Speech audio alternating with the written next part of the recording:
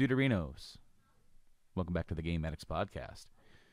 And uh, it's been a minute here. Uh, this is episode 108, or I'm sorry, 180. 180. This is our second attempt at 180. There was another 180 out there that is never going to hear uh, the air because we never released it. We got interrupted and we never got back to it. I think uh, I think I still have the file here, and the only reason why we won't release it is because it's like I don't, one I don't even remember what we were talking about, and two I think the stuff that we were talking about was kind of like timely for what was going on in November. I think that's when we were did we're, doing that episode, and we were going to talk about like what we were going to talk about today. Um, we're we're going to come back and I mean we got FF7 Rebirth around the corner. We're going to touch on that, of course, because we had a demo and we both played it. We got opinions, but like, why would we go back and I don't know. Uh, maybe maybe if what we were talking about is good or funny enough, I'll, I I I will in fact release it as a hidden gem on the YouTubes or something. But Mike, before we get going, Yeah. first bit of news. Uh, First this is news. our first podcast not on Podbean. We have left Podbean. Our hosting is now with Spotify. Uh, we are on most places where Spotify, where podcasts are, like so Spotify, Apple. We're back on there. We're on Amazon. Google, we were. Uh, it's it's showing the little button there for Google, but I guess Google and YouTube are going to kind of mix. So if we're not on Google, we're, I mean, we're definitely on YouTube. Check out Game Addicts Podcast. We're there. We're on fire. Or at least we're at least the world's on fire, and we're just sitting here like the dog in the kitchen saying it's fine. Um, but Mike, Mike, Mike, Yes. it's been Yes. several months. It has been several months since we've actually released an episode. We meant to do something and didn't actually finish it. But since that time, things have changed dramatically. And you have a big change in your world coming, man. Yes. I was I was like sitting there going, man, I think the last last the episode the unreleased gem had the uh the announcement. So um I don't know if that did or not. I we might have alluded to it, but now it's it's since then official. it, it is it's, official. it's happening like there's stuff there. Um I am officially moving. Um not just, you know, down the street over yonder. Um Minnesota. Uh, it's about a 10 hour drive from where we currently are. It is. It's it's good. It's big change. It's good change. It's big change. Um, I, I have always wanted to live around water, large body of water, and uh, you know, Lake Superior is the largest uh, freshwater lake in the United States. So, but uh, it's we're excited. I am very excited to live there. I don't know what else to say. It's a, it's a big change. There's a lot of moving. That's one of the big reasons why we haven't been able to podcast is, you know, you've got tons of stuff going on uh, with you know two two children, mm-hmm. and then I've got the packing every weekend and a lot. Yeah, man, it is a lot, but thanks to the power of the internet, we will be able to continue doing the show, and that is the plan. That is the plan: is to keep rolling and trucking along, and try to get some sort of semblance of periodic release. We might not have that in the weeks coming forward, but especially once he moves and gets settled in, we're gonna try and get together about every other week or so. And today's topic, we might fill up our entire time that we have to talk about. There is a few other things Oh, it will. on the back burner. Uh, but I think we're gonna save that for the next time. We, there, there's all this rumors and stuff talking about with Xbox. Are they getting out of the business? Or are they not getting out of the business? You Phil's- actually want to open with that? uh, get this. It's a quickie. okay, all right. Um, I so- know. Sorry, I didn't mean to put you on the spot. No, we can. Um, I just don't have anything pulled up or anything for that, but we'll just riff on it. So That's fair. I'll put uh, some stuff up. as as of like last week or something, there was some rumors uh, and speculation and leaks or whatever saying that Starfield is coming to PS5 after the first dump of DLC. Uh, that comes out for that, and then it was like not only that, but also the new Indiana Jones game. Well, those are both published and owned IPs. I guess in Indy is shared with Lucas, but they are going to be put out by the Xbox brand and then all sort then then it was like the cavalcade of stuff is like okay all first party stuff all everything they own call of duty and all that stuff and then like halos and forza all coming to other consoles like PS5, Switch, whatever they can get it on. And it was all all this stuff kind of came out like uh, in droves. First it was a couple, and then it, it it, it was like the leak from the hose you just couldn't patch. It was like more and more games spilling out onto other consoles. This is crazy. Here's Phil Spencer's tweet on February 5th of mm-hmm. 2024. He said, "We're listening and we hear you. We've been planning a business update event for the for next week, which should have been last. No, uh, if no, it was on the it'd 5th, be this week. It'd be this week. Oh, my days are all messed up. Sorry. As we're uh, posting this, it should be this the, this week that we are. Yeah. Yeah, yeah. It says that uh, we're looking forward to sharing more details with you about our vision for the future of Xbox. Stay tuned, and then the announcement alongside an announcement of Hi-Fi Rush coming to PS5 and Nintendo Switch. Uh, speculation around Hi-Fi Rush, Starfield, and other Xbox games coming to PS5 intensified over the weekend. So, and Sea of Thieves now is making a non Xbox platforms. Is, mm-hmm. is now we're, we're, to be going there. So, yep, and big deal. It is now. Uh, okay, so a couple of things. We, a lot of things started coming like to to the question: What are the what what are the plans? What what are the ideas here? You know, Xbox just laid off their entire physical games division, and they pulled all physical games from Walmart. They're gone. There no more no more physical Xbox games are getting sold, and that's a crazy thing to think about, but it's happening. Okay, so then uh, what does that mean? If they're not selling any more physical games, what, like why would they sell a system that like e- easy that one? They're going to come out with a new system that doesn't have a damn disk drive. Like it's they already have the the S. I guarantee you they're going to come out with a new version like PlayStation did the PS5 Slim the new Series X is not going to have a disk drive. They're, they're just not going to do it. Uh, why? If they're pulling it, why would they do it?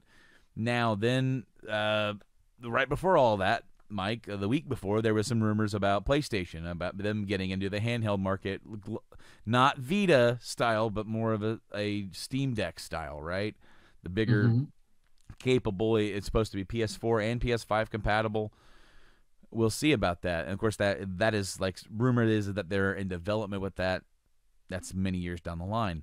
Okay, and then it was like, what is the future for Xbox? Is it a console? Are they going to just become a publisher? Are they going to, you know, there was a rumor about their own handheld. Like maybe they'll have a handheld and then a big console will be elsewhere. I, who knows? But this is the last thing I heard about this was uh, there. Phil had said internally that there are no plans for them to get out of the hardware business. Mm-hmm. That doesn't answer the question, and it, doesn't mean that it's going to be exact. Uh, the, but what I had heard was is that they're going to have a more powerful Series X style P or uh, offering. It could even be a mid-level console where it's like Series X on steroids and then uh, the lesser SKU instead of doing a digital S. If they're going to have a console that's a little bit lacking, why not make that a Steam Deck style? It's like in itself. We don't know, and we're going to supposedly find out this week, and uh, so that's kind of where we're at with it. Is that we there's a lot of conjecture, a lot of people have differing opinions. Some people think that they're going the way of Sega. They're not in the position of that. Like their their parent company's not going bankrupt. It's just that they, as a brand, have never made a single dime for that company, and then that company keeps stacking billions on it to try and have it make company or or make money for the company. So, uh, from the beginning, actually, after the uh, Xbox 360, Microsoft has been looking to abolish the Xbox brand in general. They do not want to make hardware. They are not a hardware company. They're a software company, as they stated multiple multiple times. Phil is the only reason why we have a X a new series Xbox. Problem is, is that they're not showing numbers, and that's not good. Mm-hmm. Um, with the Game Pass, they're really not making that much money um, off of it, like they would hoped to have. Um, a lot of people are now like uh, me. Big for me is I, I have no reason to buy an Xbox. Like you, you have you've given me no reason to buy one because you have to make everything accessible to the PC. I love the fact that I can get Xbox games on PC, but it doesn't help your hardware situation mm. when you allow it. But I'm assuming that this is an assumption, this is not hard evidence or factual at all, that uh, Microsoft was kind of like, hey, you need to make a streaming service. This is kind of what we're looking at, and we want it to be on PC. And I think that was the start of the destruction of hardware. I, I think we may see one one one more console. I don't think we will. We're gonna find out this week, and uh, I will not be surprised to see either Xbox or PlayStation release a Steam Deck style handheld.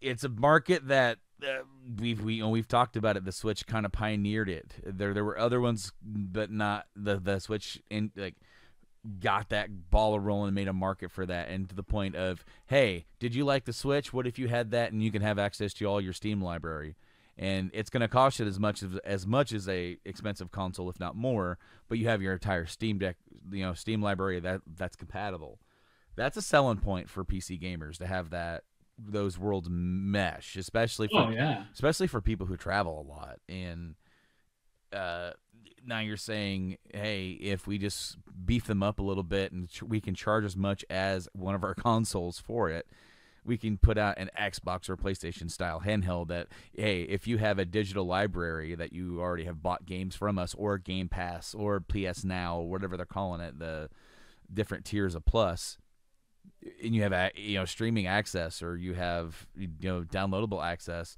now you have a game library to to fill up a handheld with to take it on the road with you and play. So one of the big things is is like microsoft is a software company. That's what they do. So they already have the software for one of these handhelds. Mm-hmm. um, obviously they're very close with you know intel. And all of them there's no reason why they can't throw like an i7 in one of these consoles since right now AMD is definitely the market for these new or hybrid hand handhelds. But there's no reason why you can't just say here here it is for 400 bucks, as powerful as the Xbox X Series X S S not X. That'd be well, you know, you're holding a brick. you know, uh, anywho, get that mixed up. But you also allow it to say now you have access to all Xbox games. You can do your it's like almost like an iPad or some style of that that's more of a console and add touchscreen and say you can have all your Microsoft stuff on here. You can have your Steam library on here. You can have your Xbox library on here. Everything is compatible with this. It's gonna, I think that would be a smart move. It's going to be interesting, and we're going to find out exactly what they have planned. I know that you know, with the rumor of that PS handheld, the rumor was, ah, it might not even come out until the next generation of PlayStation. It comes out uh, because the rumor is PlayStation's already started working on the PS6 and it's going to be beefy when they and they're already asking, you know, uh, developers what they can do and to improve upon the PS5.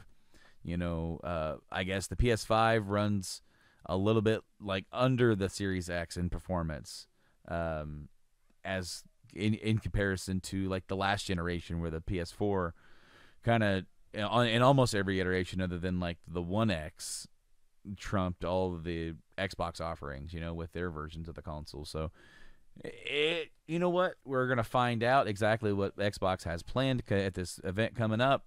Uh, until then, we'll just continue to speculate, and it'll be a hot topic for the next time that we do get together, whenever that's going to be, if it's still newsworthy, I guess, by at that point. But, Mike, you and I have both played a demo, and this demo came out last week. I told you about it.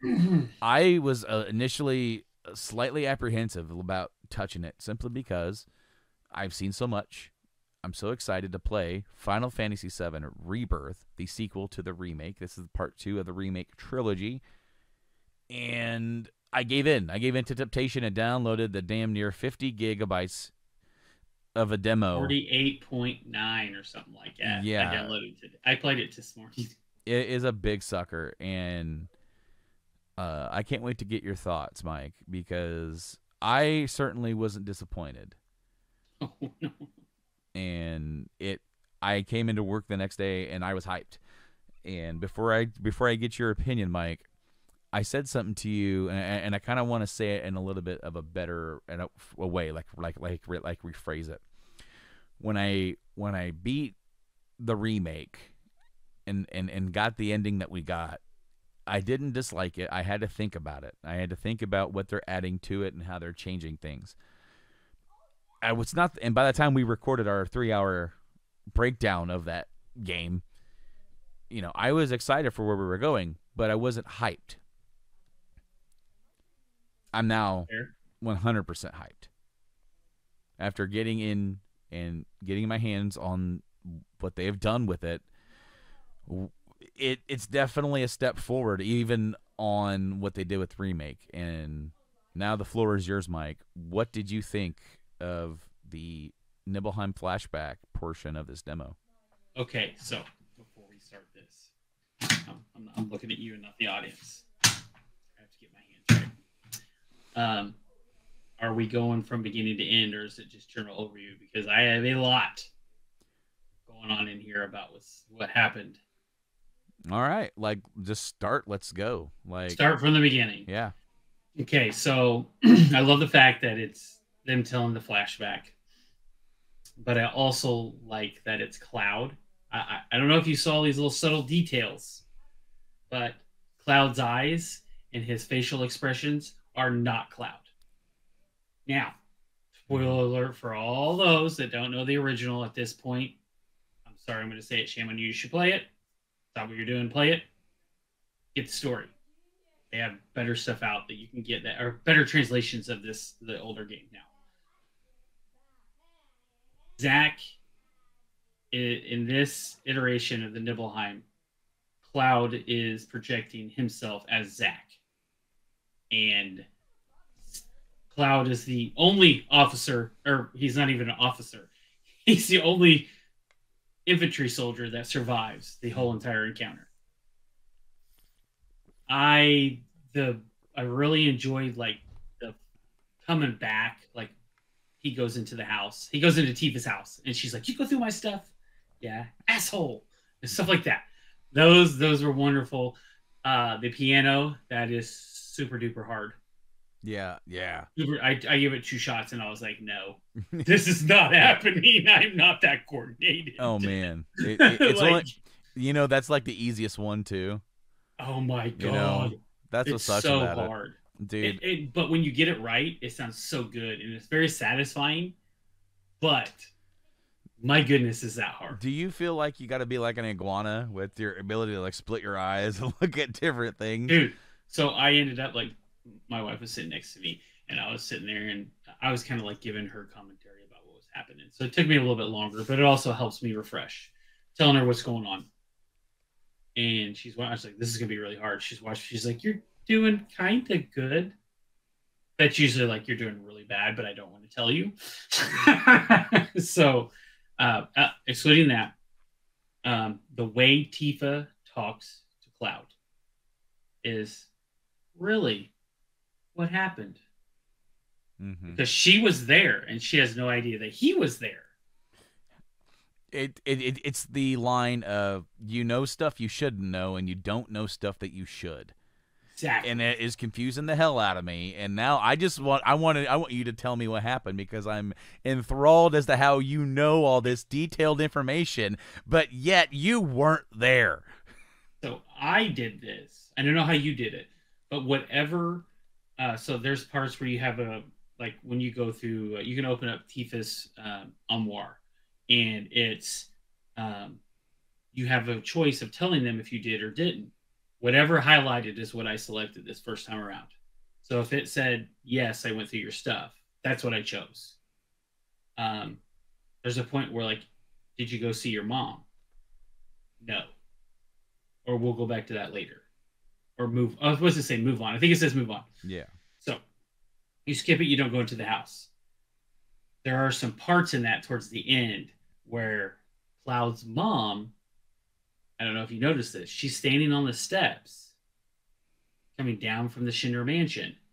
And she says, My son is in there. I need to go back. Let me back. And he goes, Mom, that's my mom. And he goes and he's he's technically saving himself. It's the small little things Mm-hmm. that kind of you're like, hmm. and then I also like the fact that like a lot of the stuff that Cloud wouldn't have been on is very dark, so it's very hard to see some of the things, and it's very blurry and obscured. there's a lot.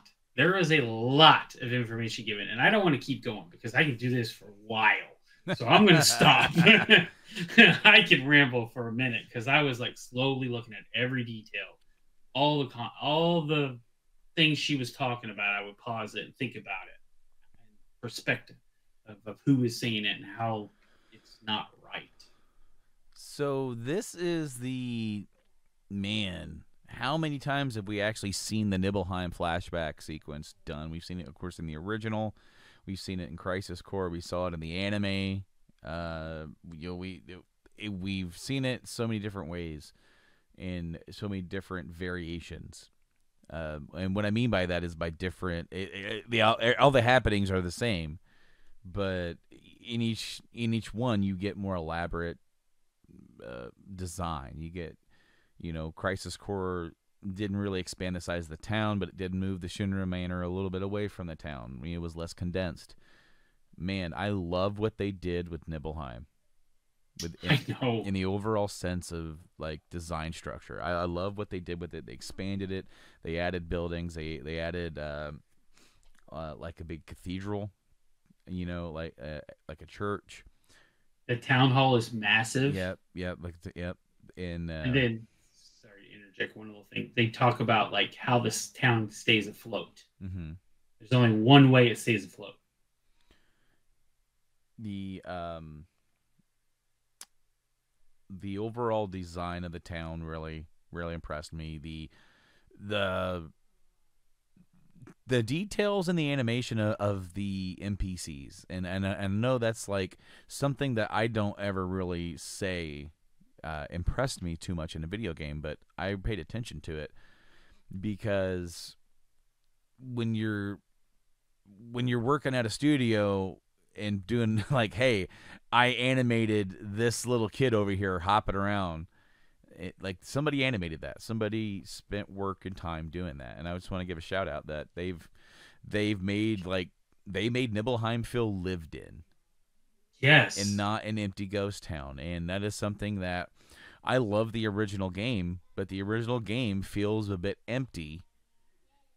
Especially now that we've seen like the remake and now what we've seen a rebirth and it going to expand and ma- basically paint these games as pictures as we as we envisioned them because the original looks like this in our minds and our nostalgia brain of how the story unfolds it's way more epic because our brains fill in the gaps of our letting our imagination like embellish this and we're don't we don't here soon we don't have to do that with the with and that that's what's cool as being a fan of the original and seeing this stuff get reanimated and get to see it. And it's what makes it emotional uh, as well because you've made an emotional attachment to a property or something that is now like it like your brain painted that picture and now they're like hey let us do that part for you. And you're like wow that's what you guys thought it looked like? Because it looks better than what i thought you know? That case in point uh Aerith's house in the remake or just looking up when you're under, when you're underneath Midgar to see and, and then the plates above you. I, I love that. Here um it was the mountains. Oh my god it was it was the overall design of the terrain and how they captured that design. And, and it, it's something that the FF, the original FF7 had a lot of variable uh, locales a lot of different kinds of places deserts uh, more mossy places more uh, you had more colorful vibrant you know the Japanese influence with Wutai and and, and Gold Saucer, and then Corel, the op, you know, Glam and Glitz next to Complete Ruin, you know, uh, you know, the resort town, and uh, it's like all these different, all these really different, cool and different, unique things, and Mount Nibel is right up there with it. It's very, it's got a character of of its own, and they were able to encapsulate that into something that when it, it, it was mesmerizing to go through that section. Did you like? Did you stop and do the uh, ocean view? Mm-hmm. I stopped and stood there like Joanna was behind me, and I just did the pan, the very slow pan in a big circle, just looking at the environment. Every time we went into a new area, I stopped. I did a spin and checked all the detail. It it looks phenomenal. It, phenomenal.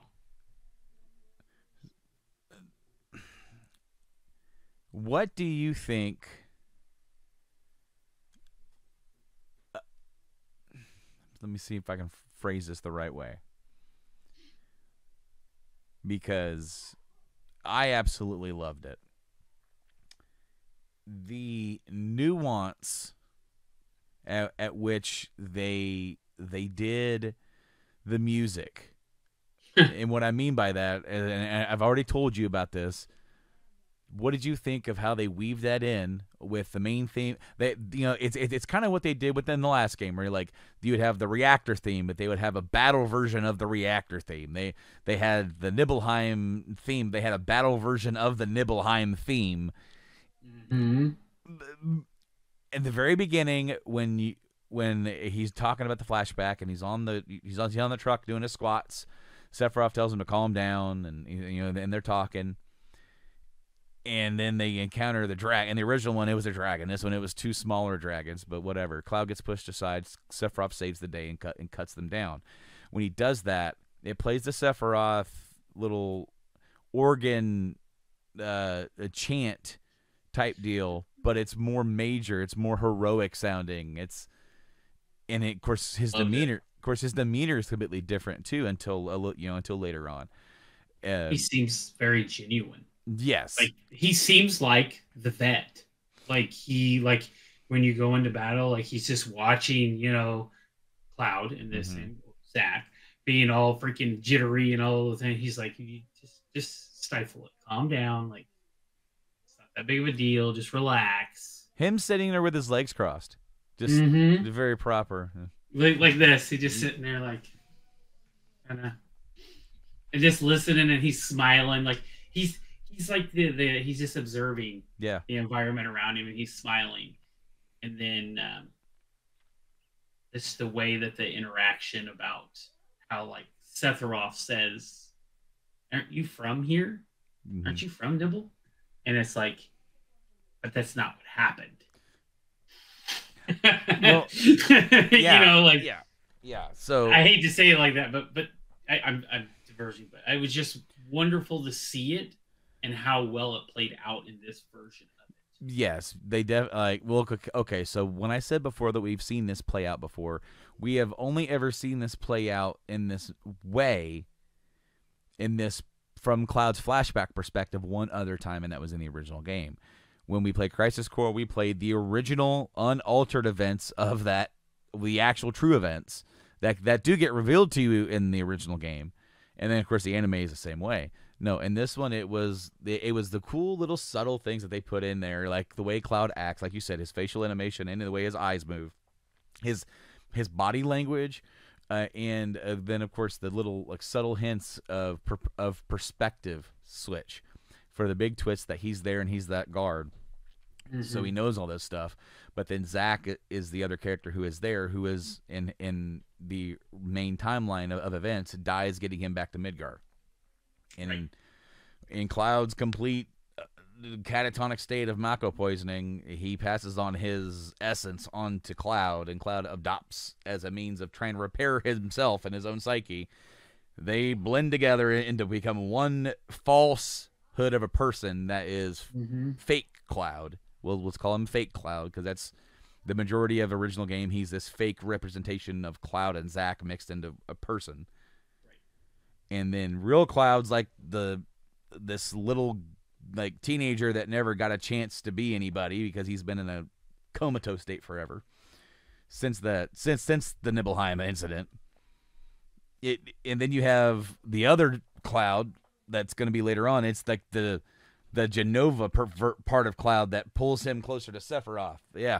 So, and this to see that all that stuff kind of come to fruition was awesome. The other thing that I really liked was the the huddle the the subtle hints, not the huddle sense, but the subtle hints that Cloud is the infantryman with when they're when when Tifa is leading them through Mount Nibel and they kind of get jumped and the infantryman saves Tifa and then allows uh, Zack to finish off the monsters. And Sephiroth says and tells the infantryman, "Good job." But if it weren't for you, like we uh, like we would have lost our guide. Yep. I like the way the infantryman never says a word. Never says a word. But like you can tell. So like I don't know if you did this, but right when we start when you start Nibelheim and you're Cloud walking through, the first thing I did is turn to the right and talk to Cloud. I talked to the infantryman that he is. Yep. And it's like, so so you know, I got a girlfriend here or something? And it's like and then the other guy's like, wow, huh. A lot bigger than I thought it was. You know, like it's been talked off as it's, it's the first reactor. It's not even supposed to be active. Mm-hmm. But I really like the small stuff when you talk to people. I really liked when you're in when you go to, to the town hall and like everybody's chanting Sephiroth, Sephiroth, Sephiroth. Like everybody's in love with this man.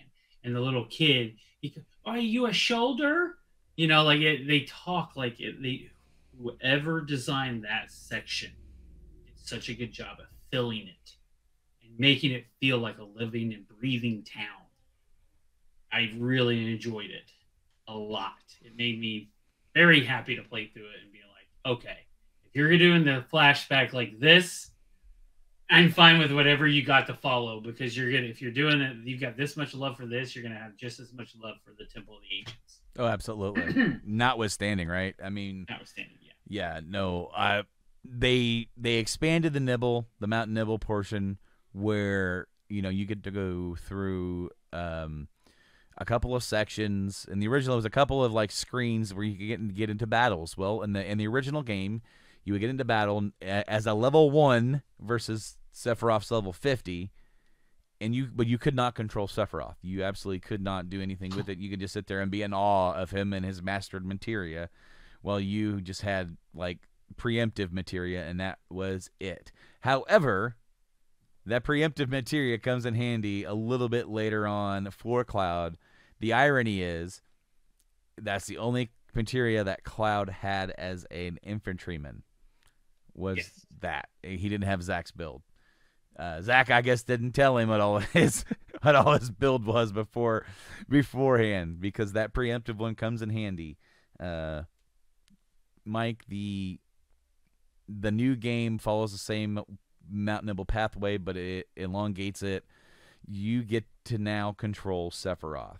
They decided, like, it would be kind of boring if you just controlled Cloud and Sephiroth just buzzed around attacking and killing everything before you had a chance to do anything, especially in the beginning of a game where you're trying to learn how to play the game. So, as a gameplay story integration mechanic, what better way to all the audience, all the player of how badass you can be is by giving you essentially a god mode for the first 20 minutes or 2 hours of the game not not quite but almost and allow you to play as the most legendary soldier of all time and when you do it feels so satisfying to just you are mowing through everything at the speed of light and it is fun it is fun. Literally. it is so much fun to play as him Like he freaking when you do his dodge attack, he teleports. mm-hmm. So like you can literally like um, in the game like you build up a, a all all characters build up kind of like a limit or a command bar, and uh, in his he has two bars. He has a command bar, and then he has Sephiroth bar, where they hey my one attack.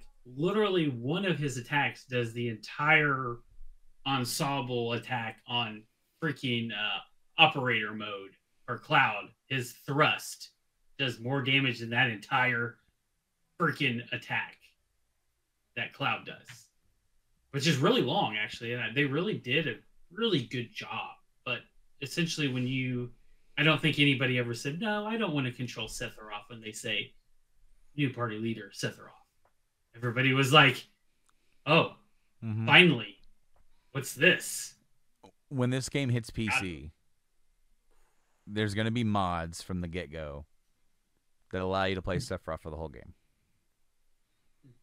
No matter what's going on, your character is just going to bloop, now, now you're Sephiroth until you get I don't done know with the battle. Want to play that. I would play it just, but it, you know, we don't know if they're going to expand any on this. Obviously, I don't think they will more Mhm. like combat with Sephiroth other than this flashback. No. But Right. he does have three of his three iconic attacks, and that's that's what matters. And the freaking team attack, hmm wow. What do you think of their expansion of, the, of like the synergy? Because we saw the the beginnings of that with the Intergrade DLC with Yuffie, where uh, her and her uh, cohort would team up to do moves, and now they've done it and they've expanded it to work for every member of the party, and they've made it a leveling up mechanic. What do you think of it, and how do you think that like they could expand upon it, like after this, like? because like if they're gonna if, if they took the baseline and what they built with remake if you're asking me in my opinion i felt like what they're doing with this is like it, it, it takes what they did and just makes it even better it just polishes it to me In my opinion, it, it basically takes the system that you had and sprinkles sugar on top of it. yes because essentially you are still, you know, you still have your limit breaks. By the way, his limit breaks way overpowered at that point. like Octa Slash. Yes, spoiler again. You get Octaslash, Mhm. and holy crap, does it decimate everything? Like I got it twice for the boss. I didn't Mhm. even use I didn't even use Cloud's limit break. I was like, I don't, I don't even care. You don't even matter. You're, you're just an extra at this point because that is one of my favorite characters. Is the legendary hero obviously more from Crisis Core than he, he is the legendary hero. He is the powerhouse, and it's funny that in this one you get to see his realization of I'm a monster. Mhm. I'm not I'm not what I think I am. I'm essentially a monster. And then as he as the story goes on, he embraces what he is. yeah um so those back to the synergy attacks Sorry. you you have I, I want to say this before we forget it.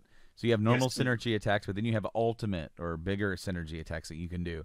So uh, underneath on your meter, you uh, you have like a couple of vertical bars, blue bars. Uh, uh, like I, I'm not sure if there's four or five of them, but there's a few of them under each one. And and how you unlock the bigger synergy attack, you have to do some of their other abilities like Cloud Braver, Focus Thrust, Triple Slash, big shot, whatever they are. You know, each character has to do so many of them, five, and once you have all gotten that, then you now unlock the ability to do the ultimate synergy, which is a huge attack. The And back to back mode. yes, so when I there is a boss on the way to the reactor, and they've moved the Materia Keeper boss to here. I assume that maybe I'm wrong. I assume that when we go through the Nibelheim section in the main game, we don't go up to Mount Nibel since we already have just done this part. They wouldn't just. I don't think they would have you just repeat that part to like run all the way up there and get there. Just do to to to in story do what?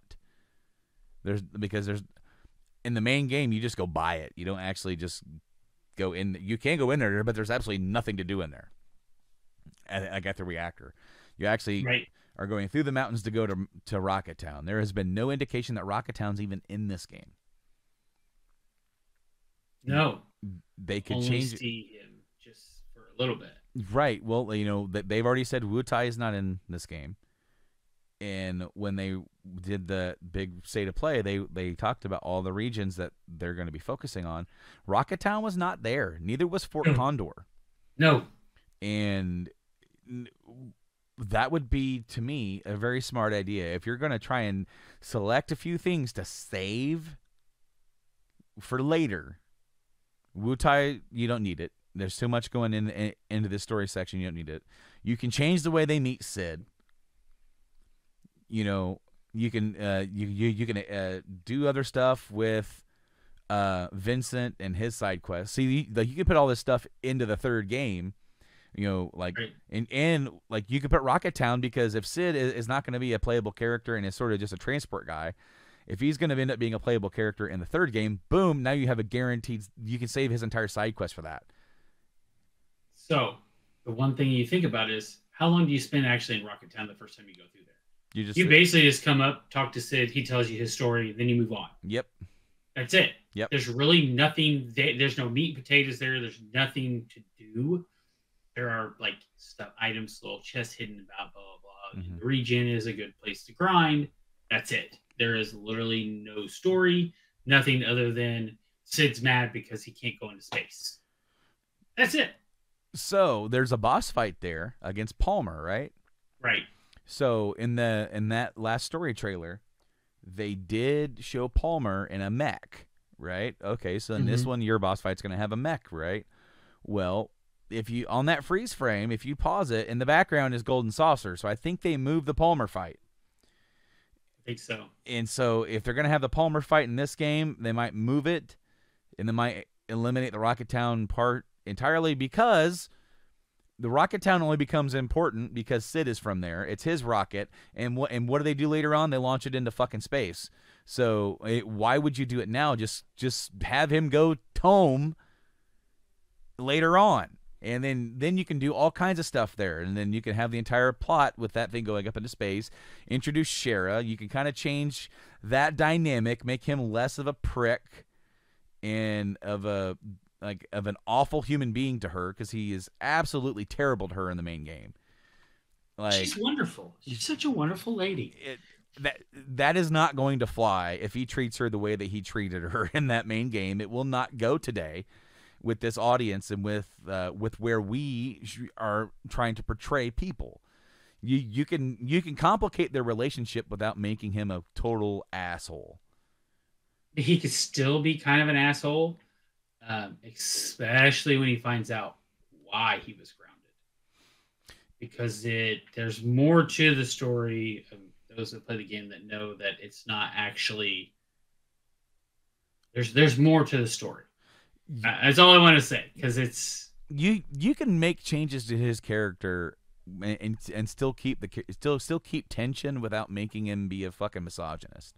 right. because he comes across as just like he bosses this woman around and she does everything for him because she owes him her life and there's i, I think the whole quest keep the main points to the, uh, to the point where she is smarter than he is and he just can't admit it but keep those points there but not make it so awful no you can do going back you can keep Wutai you can keep the real fort condor you can keep rocket town for later because those areas are not as important. You can put them into the third part where now you've you're going to be introducing Mideel. You're going to be in, that's another new place for for the third game. You got uh like the Northern Crater and stuff like that. But then it you don't have to come back to all of these like to this big open world concept that they're doing here and just try to add places to make it bigger. You you, you can do a different overall design because uh, at some point in the third game we're going to get the Highwind. So the how are you going to put that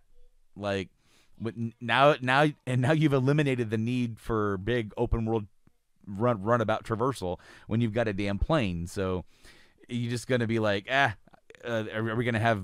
Uh, is this going to be like FF16 style map design where you have like regions where you just like, yeah, drop me off here, and then the Highwind drops you off, and then you can go roam for a while. It could be, but you still have, as he said before in his interviews, they're trying to just figure out how they're going to fight on the Highwind. I think you're going to be uh, some of these weapons. I think the Highwind is going to be a uh, integral part of. I think they're going to look at what 16 did with the kaiju battles, Yeah. and I think we are going to use summons against the weapons. The question is, is do you bring the summons into this one? Because you do have summons where obviously you do Ifrit, but there are a few that you get in this one. There's two very specific ones. Get Bahamut in this portion of the game. Yeah, so we got Bahamut in the first one, and this is like they're calling it Bahamut Risen. Yeah. but it's Neo Bahamut. You know, But so you do you get original Bahamut in this one? Because normally you would get these after Midgar. they, it was yeah they did that and they changed the way that you get and where you get summons Right. uh, because you didn't get your first summon until after you left Vanguard in the original. So they Right. they wanted to have there to be summons, and so they selected some of the big ones and said, "Here you go." And then now in this one, you got you know there you're getting Titan, Phoenix, Ramuh, uh, Kujata, whatever that thing's called, uh, Neo Bahamut, and Alexander. They did show Phoenix though. It, I thought I said Phoenix. Yeah. Well, no, they showed it in the trailer. Yes, I'm just you, you said it. You said it. I'm just saying they, they did show it in the trailer. there's a few. That, did. there's a few that they've left out. The- okay, so we're gonna get Bahamut Zero maybe the next You, one. well, you have you have Bahamut, you have Neo Bahamut. Yeah. Bahamut Zero, right? Yeah. Hmm. And then you have not at this point. Mean, I'm trying to figure out what you have. You have the Chok- Chocobo one, which you already have that one. They've already shown that one. Mhm. Obviously Ifrit, obviously Shiva, uh, Ramuh. Man, I don't. I'm trying to think of the ones that you haven't said. Well, there's um, Hades, Alexander, Odin. Odin, yeah. So I think Odin's in this one. Um, Typhon, which I guess is uh no no my I'm getting my memory mixed up with another game, but Ghost Ty- Train.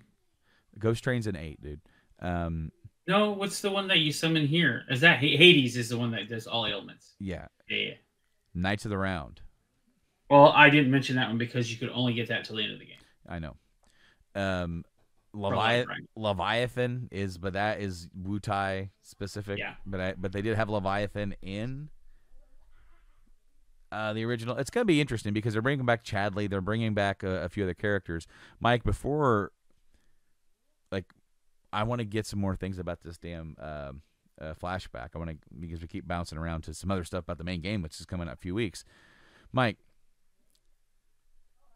how did you feel about the presentation once they get into the reactor and there is the Sephiroth waking up?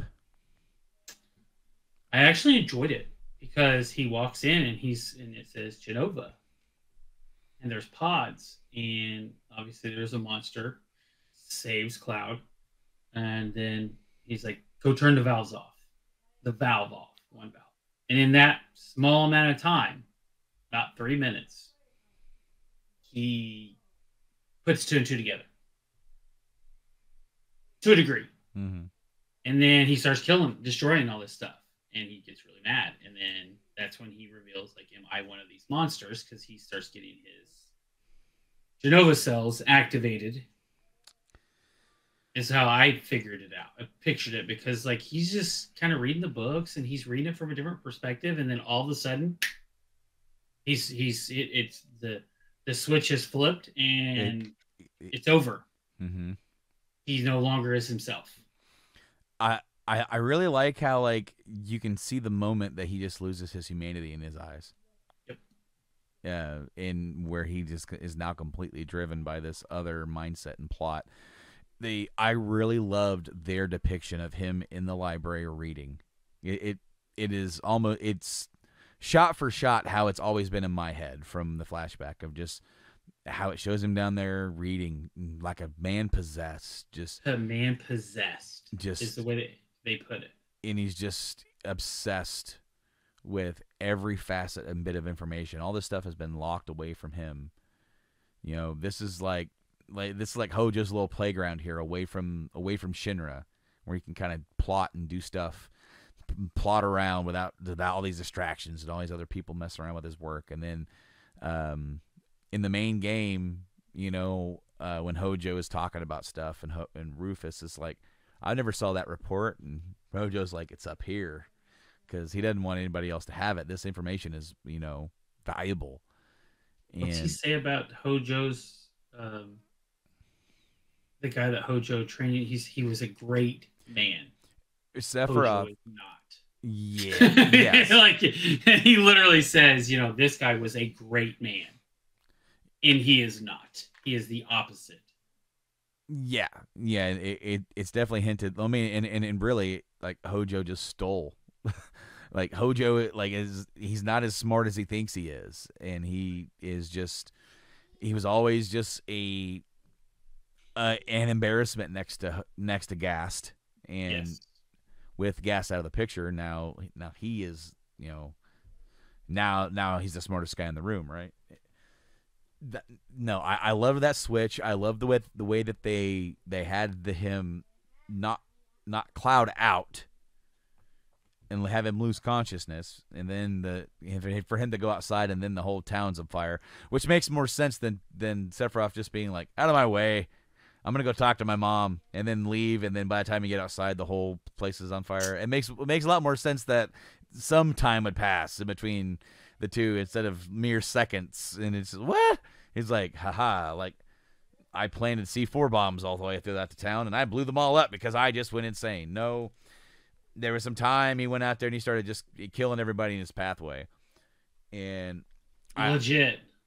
I I, I liked the the the reimagining of the scene.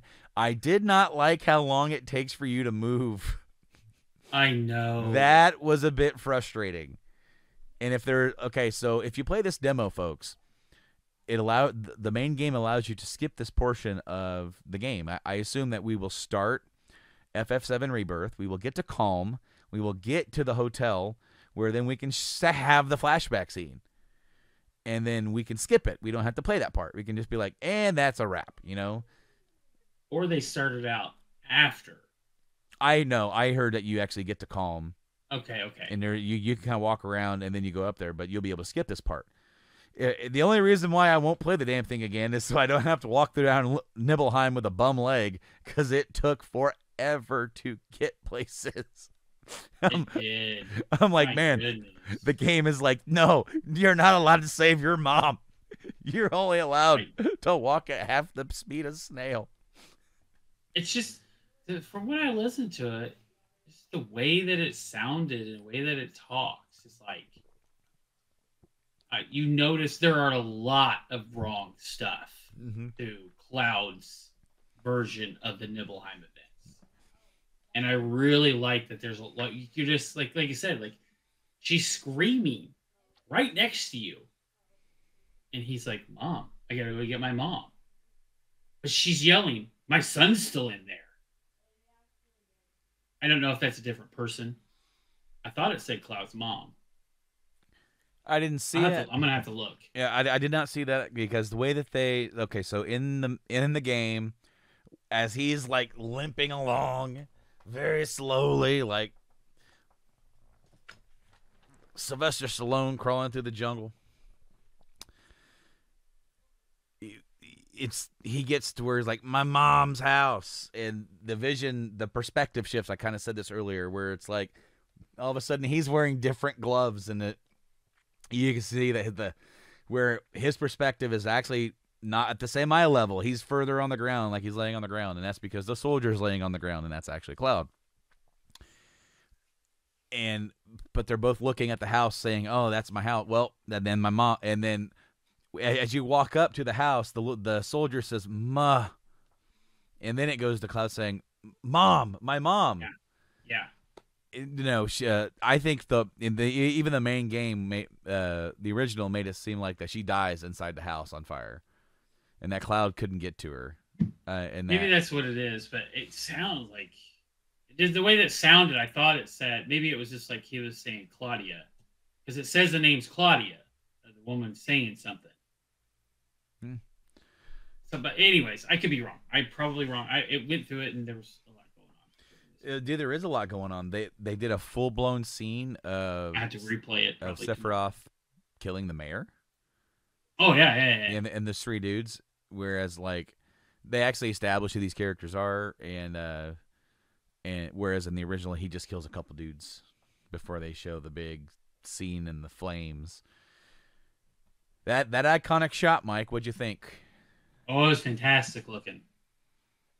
Fantastic looking. I love the way that like literally they end it at the iconic shot. Yep. Like it's literally like he fades past the flames. And yep. Yep. You know, it looks a lot better. Oh man, it looks sharp. I, I love the way they show his movement of his sword. Like they show the sword, and then one of the things he said, maybe you should talk to your sword before we fight.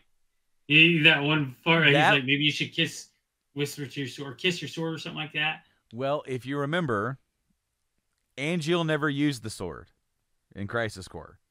Zack would always hold it and talk about his honor, Mm-hmm. you know, as a nod to Angeal. Right. So him saying that to Cloud was a is a blatant that was he's talking to Zack. Yeah. Because when has Zack ever said anything to his damn sword? He hasn't. Nope.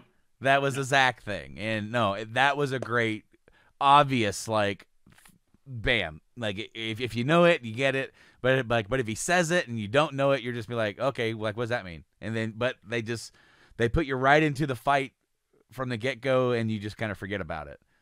Yeah. But that was a uh, that was a nice little uh, quip that I also caught. There's a lot of really good small moments. Mm-hmm. There's also moments where like when you're playing as Cloud, he acts like Cloud. Like when it's alone and it's not a he's not around anyone, Yes. I suppose he's Cloud. But then when he's around, you know, Tifa, like why doesn't Tifa acknowledge that he knows where to go? Or like, I'm glad we used her instead of you because we were gonna use you. Did Mhm. you do that? Did you go past the rock slide? Yeah. Go to the rock slide and say, Hey, it's down here. Yep. that that went away, and then instead I was like, "Yeah, we were gonna use you." Right. There's a guy you would have drove us right off a cliff. Yep. Like, Did you like the way that, like, obviously this is Cloud, uh, you know, cosplaying as Zack, but just the way that they kind of talked to each other and kind of had this camaraderie with each other, and and the way that they kind of like the way Sephiroth kind of like made little made, made little quips and jokes at him. yes, I really like that. But also in in the other game in uh, Crisis Core, like in these small amount of time, like you see, you know, Genesis and Angeal and Sephiroth, the three legendary heroes here, interact with each other. It's that way. Yes. Yes. it's exactly that way. So like to pull it apart and like Sephiroth's still Sephiroth, but you know, Angeal and Genesis are not here anymore. right. Quotations around that, not here anymore. We don't know what's going to happen in this game. No, I I like the little, um, you know, when he's like, ah, just just, I'll, like I'll like I'll go ahead and, and like and like clear the path. Just leave everything to me. Sephiroth's like, you bet. yeah, you bet. You want to do this? Go for it. And then when he steps in for the one, he's like, "Consider this your evaluation." mm-hmm. Oh no, And then it's it's like- great. holy crap this is no longer an evaluation like oh and when the the the uh, the materia keeper lashes out. And he he has this small sense in the back of his head of he's on a whole other level. Like there's nobody on his level how fast and how good he is. I don't know. I really enjoyed it. I'm definitely going to play through it again. I definitely there's a lot of stuff like that one scene it happens so fast because you're just you're kind of walking along Mm-hmm. and the sentence is really quick, but I'm pretty sure it said Claudia. So I have to look. Obviously, she dies in this. Well, it, it makes me wonder if like as you because as you're walking along, something falls and it blocks your path. I'm wondering if they did not actually have her say something and yelling like from inside the house, like she's stuck, she can't get out. And Maybe, then, and I just and then they have because they have all the characters who are saying something, all their lines come up on the side like pretty fast. but it comes up and like yes. It's not like you can segregate. If you've got like three people around you, they're all three popping up.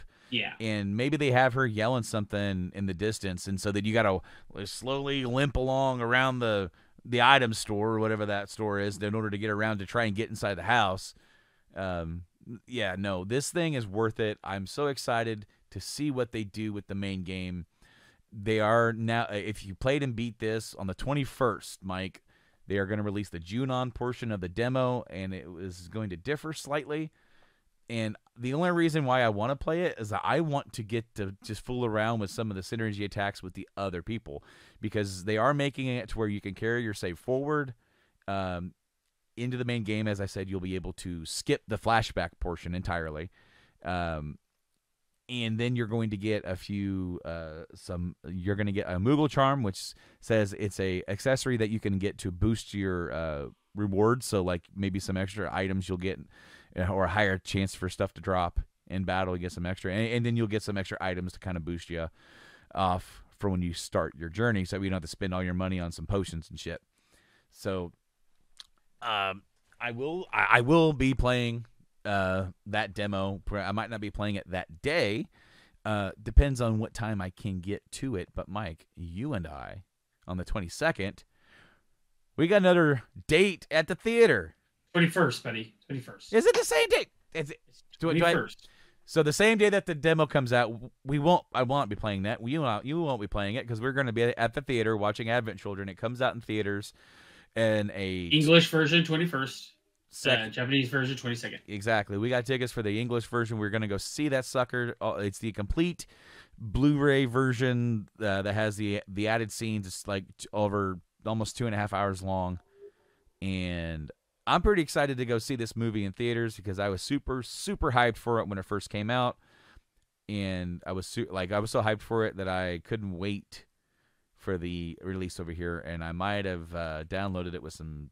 Well, it, it it, it would be the most nostalgic would be to go see it in Japanese with subtitles because that's how I watched it the first time I guess as I I, I remember uh, using it allegedly on some sort of software that you can do to download these Mhm. things on the line No, no, no. We don't do that. No, no, no, no. We don't do that right here. and I know that I think it had been out for a few months, but I finally downloaded it. It was on New Year's Eve, 2005, and I was playing in a band at the time, and we had a New Year's Eve show, and we played the show, and instead of hanging out into the wee hours of the morning drinking and having all that sorts of fun. I we, after we finished the show, I hung out for a little bit with some friends, and then I s- said my farewells and was back at the house just after midnight and had my own little solo after party with my computer and my recent my newly downloaded Advent Children, and I sat there and I watched it twice. I watched I watched it once just in awe, and then I made myself some dinner, and I sat down and rewatched it so I can see all the stuff that I missed because I was too busy reading the whole damn thing. Uh, no, Mike, I'm Yeah, super sure. excited to go see Advent Children, and uh, why do I'm they want us? to go see it with you. Why do they want us to know this stuff before this game comes out? I'm telling you, I'm telling you, I'm saying that they're going to be like, hey, here's what happens at Advent Children. And then there's going to be a little thing at the end where you're going to see the little static come up. And when Sephiroth says, I will never just be a memory, you're going to see the feather drop and there's going to be a change. It's going to show a change. I'm telling you, they're going to show a small change. It's probably only going to be like a, a one and a half minute scene. There's going to be a change. I don't know, man. It's gonna be interesting. I'm excited. Why would you release it? Why would you do it again? Other than one, it's never been released in theaters in the United States Mhm. that I can recall. Do you recall it ever being there? Not offhand, maybe, but no. I, I, I don't remember it being in theaters over here. At least around us. Definitely not where we grew up. That was Yeah. never a thing. Right. but I think it's it's funny because they're just like, hey, here's the movie. Just here's the movie. hmm Well, why are you releasing this now? Yep. Well, it's the movie. Okay, well, most of us own it. Like the version. Yeah, but you want to watch this version. Well, why? Just go watch this version. Because I think I have the complete version as well. Yes. Yes. Yes. Um. Also, Mike, they they could have released this at any point over the last several years, but they waited until about a year year year and a half ago to release the PS5, PS4, Switch, and Xbox version. It's of the remaster of Crisis Core. So I'm ready to be shamed. I still don't own it. Um, I just saw it on sale, um, somewheres for like half off. It's thirty-four dollars on uh, PlayStation. Yep. I, I I think it is also on Switch as well. Now, they have redubbed all the voices in this, Mike. I don't know if you know that. I don't know nothing about it because I haven't, least- wa- I haven't played it. At least some of them. They because they made the Zack voice the same as the remake, and I think Sephiroth is as well. So because the original Crisis Core had the Advent Children era voices, Yes. because they did the voices for the characters for Advent Children, Dirge of Cerberus, Crisis Core, and then the Kingdom Hearts uh, uh, two and beyond. They uh, the, they use the Crisis Core cast. Do you think that they'll have the new voice actors doing the voices in the movie? If I had to bet, no. I, I'm assuming no, but I honestly would be really excited for that because the guy who plays Barret, Oh yeah, he nails it. Oh, yeah, he no. nails it. I Hmm. just don't know if they want to put that much money into it to re-release it, and, and be, because you would just be, you you you you would just be doing a new voice dub for it to match. I mean, to have continuity is one thing, yes, but uh, I don't think they want to spend any money on it. to be honest with you, they just want to be able to to screen it and be like, hey, how much money did we make off this screening? Okay, cool. That's money we could put in the pocket. That's I- my that's what I assume. that's my bet. Uh, I'm hoping that there's a pocket of new information. they when asked about it about the release of Crisis Core, they're like, "Do you absolutely need to play Crisis Core before you play remake?" And they said no. And they're always very kind of sheepish. They like, "We designed remake and rebirth. There were even if you didn't play any other entry before you pick this one up, you can enjoy it." But they then, then they come back to say, obviously, if you have played and or watched any of the previous entries in the series, you'll you will enjoy it more Right. but it they they're always very they're always just very little like they're very tongue in cheek about the stuff that they want you to know and, and what they don't want you to know. And I I think they they they chose in between remake and rebirth to release Crisis Core for a reason.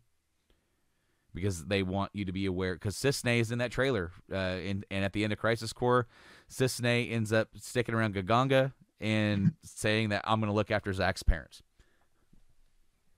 So, why did they? I mean, what they what uh, they are bringing these elements into the story to make it a more rounded story because in the original game you didn't have Crisis Core, you didn't have Advent Children, you didn't have all this stuff they added to it. Now they're all this stuff is going to be in the same place and it's all it all exists and except for this new part of the story that we still haven't really told you how it works. And uh but obviously we're going to find out. Mike as I said before, when I beat remake and, and we were talking about it, I was excited. But as the week started ha- kind of turning over quicker and games were getting closer in this demo, the excitement has now turned into hype. And I'm very glad that I have taken time off to play it. And unfortunately, with your move, you won't be able to play it. But I promise you, I will not spoil a damn thing. It's going to be hard because I'm going to, it, it, it will be damn near impossible. I am hoping. So I am. We're, we're gonna move.